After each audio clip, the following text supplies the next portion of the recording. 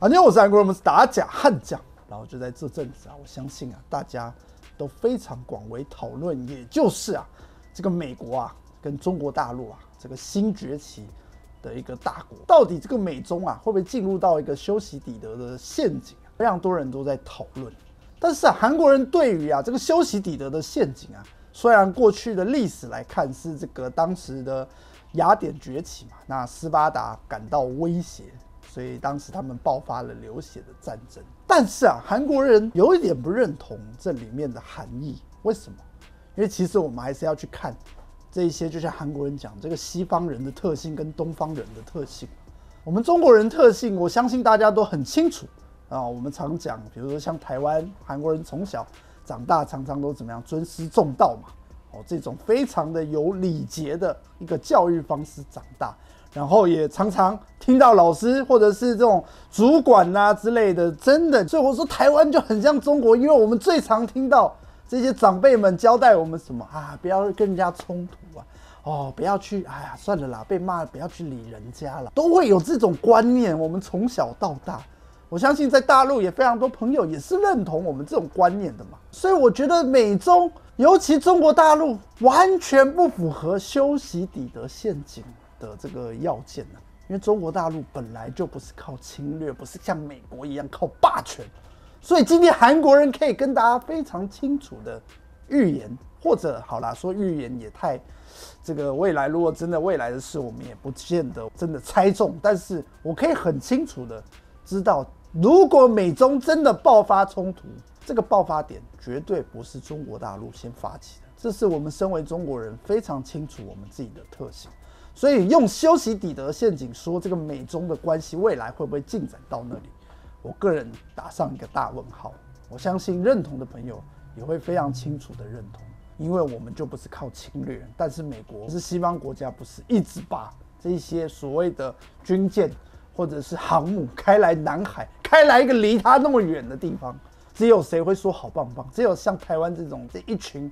背骨的汉奸们才会说好棒棒这种台独分子、绿分子，所以啊，就在美国啊，不断一直希望设下很多的这个什么，要逼陆方出手，或者是拿任何的一个傀儡当做什么，当做他们操纵的棋子之下。今天台湾又出来一个非常大内宣，又是甘愿做人家棋子一篇非常好笑的新闻，也就是布林肯啊承诺邀台湾出席民主峰会啊。然后推动参与四位啊，那这个又是哪一家报道？也就是台湾的官媒中央社，所以他内文就写啊，美国国务卿布林肯今天出席国会听证会，哦，有议员询问他是否承诺推动台湾参与示威，邀台湾出席拜登主办的民主峰会等啊，布林肯一口答应，并赞许台湾强健民主政体和科技重镇。但是各位，你看看短短的这几句啊，里面就非常多怎么样？非常多台湾长期用这种欺骗式的大内宣手法。其实啊，更仔细来说，应该是什么？联合报报道的这个标题就比较精准哦。他说，议员要求挺台入 WHO 出席民主峰会。那布林肯说绝对会，这是他的标题，但是他内文就讲得非常清楚。这个美国国务卿布林肯哦，就反正就是刚刚韩国人讲的哦，出席这个会议，然后啊，这个加州的韩裔众议员呐金应玉啊，他就是关切美国对台湾支持与美台的关系啊。那金应玉表示啊，数十年来台湾是美国宝贵安全与全球公卫伙伴呐。哦，讲难听就是一个棋子啦。哦，台湾对国际社会贡献良多啊，本身是强健的民主体制，理当在世界卫生组织 WHO 获得席次，以分享台湾的公卫专业。那金应玉说啊，他要敦促拜登政府邀请台湾参加美方接下来举办的民主峰会，并与台湾启动自由协定 FTA 的这个谈判。他说：“我希望你能承诺在这个议题上努力。”布林肯说绝对会，各位，你看跟中央社、跟台湾的官媒报道完全不一样，懂美嘎的人就已经听懂了吧？非常模糊，就是美国常常做，就是韩国人常讲的渣男理论嘛，对不对？我好爱你，我好爱你，那你要不要娶我？嗯，我会努力，是什么答案呐？但是啊，你查一下这所谓的金英玉啊，这个韩裔的这个议员呐。之前我们这个驻洛杉矶、台北经济文化办事处啊，还特别哦抛说这个联邦众议员金应玉啊，祝贺台湾哦这个牛年快乐。所以你要知道啊，这议员呐本身跟台湾的关系啊非常好，所以他还在我们的这个所谓的办事处的官网出现嘛。对，所以各位。清楚的人都知道，这就是台湾长期的大内宣手法嘛？为什么韩国人今天就直接跟大家讲斩钉截铁讲大内宣？因为你只要知道布林肯这个新的国务卿最近要做什么事，你就完全懂啦。你知道布林肯在这几周会做什么事吗？也就是他会访问日本还有韩国，这也是布林肯首次来访问亚洲。那当然了，访问日韩也是怎么样哦？当然他们到时也要去讨论。这有关这个战略的问题嘛？因为现在中国大陆尤其又加入在 RCEP，那这一次的中国大陆几场大会之中也讨论到什么？哦，也讨论到要希望能加入 CPTPP，这也是未来美国要做攻防的一大战略。所以布林肯必须要跟日韩去讨论。但是各位，如果我们依照我们台湾官媒刚刚所讲的说，哎。布林肯承诺邀台湾出席民主峰会，推动参与四位的这种干话，那我就问，那为什么他这次只去参访所谓的日韩呢？这金英玉讲的好像布林肯都一直点头说，嗯，台湾是很好的朋友啊，讲的多棒啊，好棒棒啊，讲了那么多哦，达到要蔡政府可以拿来，或者台湾绿媒可以拿来大内宣的资料以后，那请问一下，真的实质上，哎，布林肯你都来了亚洲，哎，那台湾你们一直说哦，防疫很棒啊，对不对？而且蔡政府也不会让你隔离呀，对不对？上一年美国一堆官员来跑来跑啪照，管美国疫情多么严重，你来他们绝对让你礼遇哇，绝对放鞭炮啊！那为什么今天不来台湾嘛？韩国人就问这 key point 就好，讲了那么多，对不对？说台湾多棒，对啊，那这一切不就是给我们这些媒体给蔡政府拿来当做大内宣的素材罢了吗？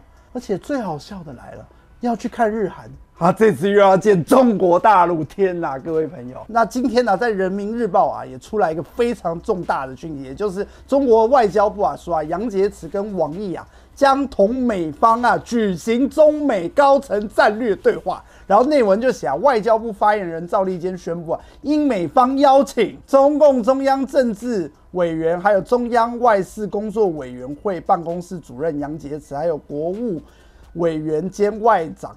哦，这个网易啊，将同美国国务卿布林肯、总统国家安全事务助理于这个三月十八日、十九日啊，在安克雷奇举行的中美高层战略对话。绝清，绿营啊，今天台湾官媒才大量的报道说，布林肯帮台湾进入所谓的世卫，这个我相信。特朗普、川普政府已经不知道讲过 N 万遍啊，没有啦，他们已经退出世卫了。拍谁？拍谁？拍谁？我讲错了。但是啊，Keep Point 来了。今天大家看完这个大内宣，然后再去看看中国大陆的新闻，你会觉得这是截然不同的世界啊！人家除了见日韩以外，结果也要跟中国大陆高层战略对话。何谓战略对话？各位朋友，台湾的问题会不会在他们这次战略对话这个拿出来？当然会啊，你懂的人你也知道嘛，当然会拿出来啊。那结果蔡政府现在的角色是什么？蔡政府角色只能自己宣传自己，告诉台湾人说我们好棒棒啊，美国好肯定我们。结果最后谈谈我们的人，竟然不是我们自己官方的人，是中美，是所谓的中国大陆跟美国高层。这是什么鬼啊，各位朋友？所以你说今天中美真的会到修昔底德的陷阱里面？为什么我打上问号的原因在于？美方也不敢这样去玩呐，你以为是怎么样？现在这年代来说，大家都有核子弹了。中国大陆的这个东风也摆明怎么样？如果真的跟美国之间有冲突，哇，直接射到关岛，是不是很容易？对啊，那个距离觉得够嘛？中国大陆除了前阵子已经跟布林肯，当时杨洁篪已经跟他有过对话之下。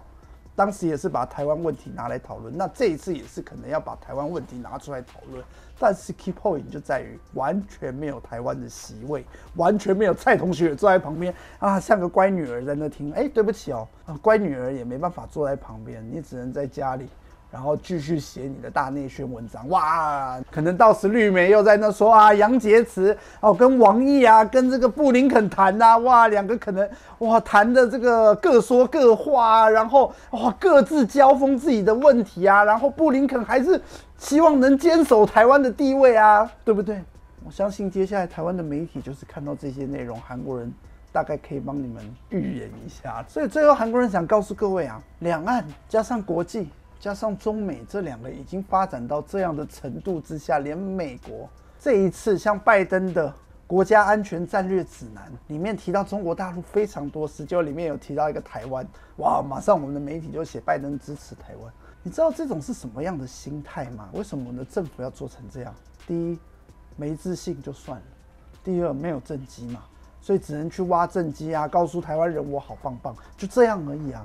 所以一切一切，国际再怎么运行，台湾就很难得知。现在台湾人只能去怎么样？要从井里面努力爬出来，你才有办法看得到讯息。那但是一堆人不愿意从井里爬出来，就是这副德性。所以大内宣有用，那继续骗还是有用。那接下来要进入到选举，又要在那抗中，还是有用。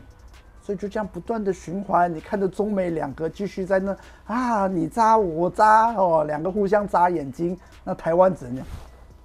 多悲哀呀！这就是我们的处境，然后还要继续被骗下去，被自己的人骗，可怜啊！结束。